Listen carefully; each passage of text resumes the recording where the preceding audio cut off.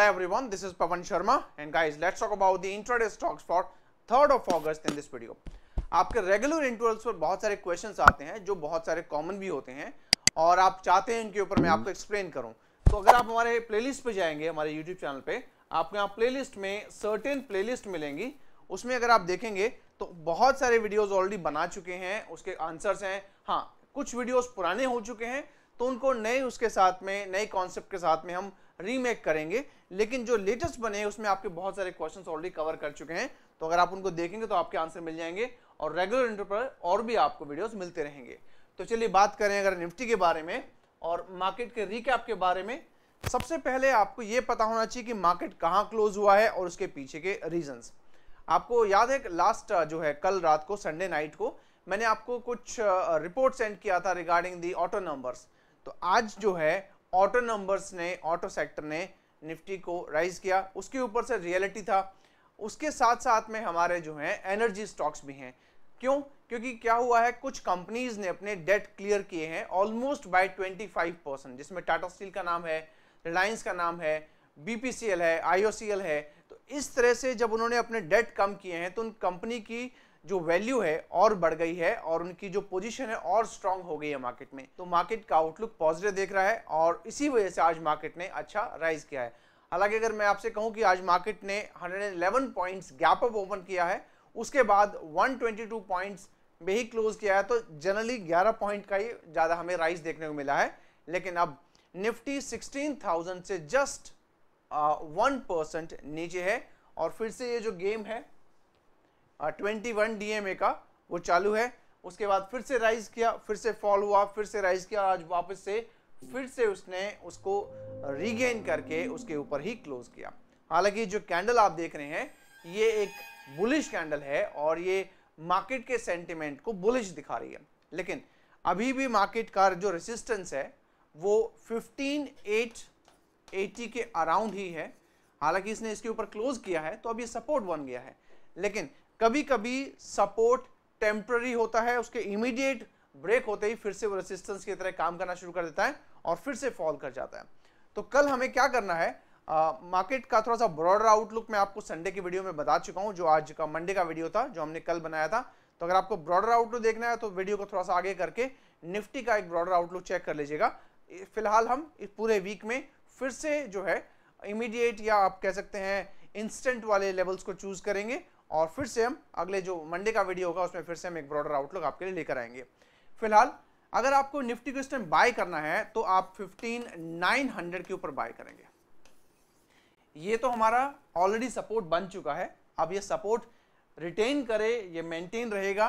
तो जैसे ही निफ्टी 15900 के ऊपर ट्रेड करती है, कम से कम उसको 10-15 मिनट ट्रेड करने दीजिएगा। और हर बार मैं आपसे कहता हूँ कि लगातार जो है, अगर दो तीन कैंडल जो रेड जो है पॉजिटिव मिले मतलब दोनों तीनों कैंडल जो है आपको ग्रीन मिले और वो पॉजिटिव कैंडल हो तो आपको बाय में एंटर करना चाहिए। अदरवाइज़ उनमें से एक भी कैंडल अगर नेगेटिव है, चाहे वो ग्रीन ही क्यों ना हो, लेकिन वो नेगेटिव भी हो सकती है, उसकी वजह से आपको वहाँ पे लॉस भी हो सकता है। तो please make sure when you are waiting then you also focus on the candles also हमें इसके ऊपर बाय मिलेगा।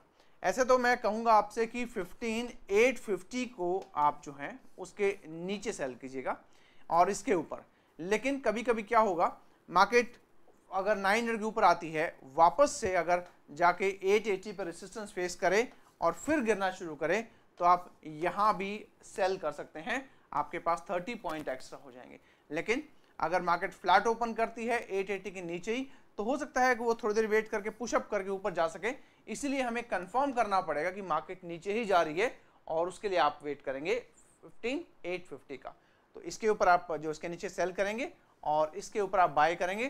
थर्ड मैंने आपको बता दिया कि अगर वो फ्लैट ओपन करके नीचे आकर रेसिस्टेंस फेस करती है तो आप यहाँ भी उसको पैक कर सकते हैं। सो दैट्स इन निफ्टी अगला ट्रेड हमारा रहेगा, वो है बैंक निफ्टी में। बैंक निफ्टी में आज फिर से क्लोज किया है थर्टी फोर सेवन टेन का। थर्टी फोर सेवन टेन का। अब पुराने अगर आप रेसिस्टेंस या सपोर्ट चेक करेंगे तो थर्टी फोर एट हंड्रेड का रेसिस्टेंस है, ठीक है? ये आपका रेसिस्टेंस आ गया। तो जैसे ही आपको ये पता चला कि थर्टी फोर एट का रेसिस्टेंस है तो आपके लिए आसान हो जाता है किसी जो है स्टॉक में एंटर करना। तो बैंक निफ्टी में अगर आप थर्टी फोर एट को ब्रेक कर देगा तो जैसे उसको ब्रेक करता है, दस मिनट आप वहाँ स्टे कर जाएगा, तब आप उसमें बाय कर पाएँगे above thirty four eight hundred लेकिन सपोर्ट कहाँ निकल के आएगा? थर्टी फोर सिक्स फिफ्टी का। कुछ टाइम पहले आप देख ही रहे हैं लेकिन उसमें आप 600 ले लीजिएगा क्योंकि बैंक निफ्टी थोड़ा सा ज़्यादा वॉलेटाइल है तो आपको थोड़ा सा मूवमेंट के लिए स्पेस देना पड़ेगा। तो अगर वो नीचे गिर के 600 पे सपोर्ट लेता है तो आप यहाँ भी बाय कर सकते हैं। वापस इसको उल्टा करते हैं कि अगर वो 34,800 पे रेसिस्टेंस फेस करेगा तो आप ऊपर से सेल करेंगे और अगर वो इसको नीचे ब्रेक कर देता है या अब 650 को या 600 को ब्रेक करने के बाद में वहीं पे ट्रेड करता है तो वहाँ भी आप सेल कर सकते हैं और यही लेवल्स में आपको नीचे भी प्रोवाइड कर in recap our first pick was S in S B buy was four remember two reason one a stock need to stay above a particular level for certain period second if you'll get entry after such a move they must be no entry because by the time you'll get the entry you the stock movement might get exhausted. So here no trade. If in case you still get a trade here then again it gave a big red candle and you might can exit in a one point loss. You don't need to get your stop loss hit here. The next one is Tata Steel a comfortable sell below 1425 and that was uh, here. And from here you got almost a hit of second target on the sell side then we have Glenmark as I said if you know about open is equal to high then the trade was excellent from high you got almost uh, fall of uh, 12 points otherwise no trade as per the levels which I provided you. The next one is IGL. In IGL 562, 553. So 562 never got achieved and 553 was somewhere here and that too after such a big move when you get your trades they should be noted because the stock might got exhausted after such a big move. Friends, अगर आप trading को secondary source of income बनाना चाहते हैं और आगे चल के primary source of income then you must know all about the technical analysis आपको ट्रेंड का पता होना चाहिए बाय कब करना है डिमांड सप्लाई का पता होना चाहिए सपोर्ट रेसिस्टेंस मार्केट कहां ले रही है कब आपको फ्यूचर ऑप्शन ट्रेड करने चाहिए when to exit from so that आपको ज़्यादा लॉस नहीं हो how to find and trade swing trades अगर टाइम कम है तो आपको ऑप्शन से कैसे पैसे बनाना चाहिए, ये सब नॉलेज आपके पास में होना बहुत ज़रूरी है। And in case you want to learn all these things then we do provide technical training for which you can WhatsApp and enquire further for our training programs intraday में हमारा फ़र्स्ट पिक रहेगा Lupin कल मैंने आपको ग्लैंडमार्क दिया था और मैंने आपको रीजन भी बताया था कि फार्मा सेक्टर जो है, वीक नहीं है, उसमें एक स्ट्रॉन्ग प्रॉफिट बुकिंग आई है तो जिसने भी ऊपर सेल किया है, वो वापस से नीचे आके री एंटर करेगा। लेकिन क्या हुआ? ग्लैंडमार्क गैप अप हुआ, वहीं से नीचे गिरा तो शायद हमें ट्रेड ना मिला हो। अगर आपने open to high concept use किया होगा तो डेफिनेटली अदरवाइज़ नो ट्रेड उसी रीजन के चलते हुए मैं आपको आज लुपिन प्रोवाइड कर रहा हूँ कि फिर से जैसे एक प्रॉफिट बुकिंग आई थी उस प्रॉफिट बुकिंग के बाद में स्टॉक ने फिर से अच्छा राइज करना शुरू किया है और यहाँ पे आने के बाद में उसने कल भी वही हाई बनाया था, आज भी वही हाई बनाया तो कल अगर लुपिन इस लेवल के ऊपर ट्रेड करना शुरू कर देता दस मिनट तो एक अच्छा बाय बनेगा, जिसमें हमारा टारगेट भी अच्छा निकलेगा may be as good as eleven sixty लेकिन अगर उसको यही रेसिस्टेंस फेस करना है तो वो हमारे लिए एक अच्छा सेल भी लेकर आएगा। इसलिए हमने लुपिन को पिक किया। तो हमारे पास दो रीजन हो जाते हैं लुपिन के लिए। हमारा अगला ट्रेड रहेगा मैरिको। आपको याद है कल हमने आपको टाटा स्टील दिया था on the basis of bearish harami pattern तो वही आज हम आपको वापस से एक और पैटर्न प्रोवाइड कर रहे हैं, जो है डार्क क्लाउड कवर तो वंस अगेन रूल दोनों का ऑलमोस्ट सेम है. इसमें भी अगर ये अपने लो के नीचे ट्रेड करता है लो को ब्रेक करता है, और उसके नीचे थोड़ी देर ट्रेड करता है, और दो तीन बियरिश कैंडल बनाता है तो ये माना जाएगा कि ये पैटर्न एक्टिव हो गया, उसके बाद कंफर्टेबली स्टॉक फॉल करेगा. लेकिन अगर उसने अपने लो को ब्रेक नहीं किया, ये कैंडल नीचे आए वापस चला गया और वहीं पे होल्ड किया अपने आप को तो ये पैटर्न अभी एक्टिव नहीं हुआ है। और फिर से आपको इसमें बाइंग देखने को मिल सकता है।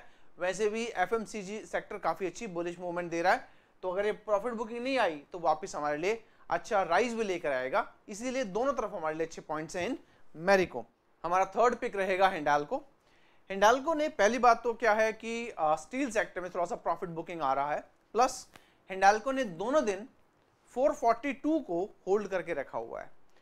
इसका मतलब ये लेवल हमारा बन जाता है सपोर्ट। अगर इसको ब्रेक करता है सपोर्ट और वहीं पे थोड़ी देर रुक जाता है तो हमारे लिए अच्छा सेल लेके आएगा। जैसे आज आपने टाटा स्टील में देखा कि जैसे उसने लो ब्रेक किया, एक सेल लेके आया।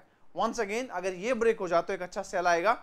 लेकिन अगर इसमें अभी भी थोड़ी सी बुलिश मूवमेंट बाकी है तो यही लेवल यहाँ पे बाउंस बैक भी होना चाहिए और यहीं से उसको राइज करना चाहिए। अगर वो राइज करेगा तो वापस से टारगेट इसका बड़ा रहेगा। आई थिंक एटलीस्ट 460 का टारगेट या 465 का टारगेट तो डेफिनेटली आपको कल ही देखने को मिल जाएगा इन हिंडाल को।